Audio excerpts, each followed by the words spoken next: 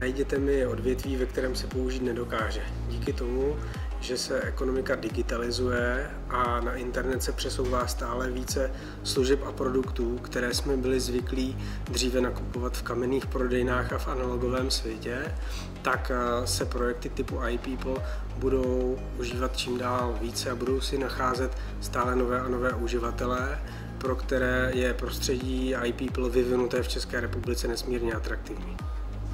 Z pohledu odborného je nutné konstatovat, že na projektu iPeople bylo odvedeno nesmírné penzum práce, které přineslo své úspěchy protože tak, jak jsem měl možnost seznámit se s produktem iPeople, je intuitivní, dobře se ovládá, myslím si, že si najde uživatele napříč spektrem ekonomiky, nejenom u firm, ale i u jednotlivců, eh, studentů,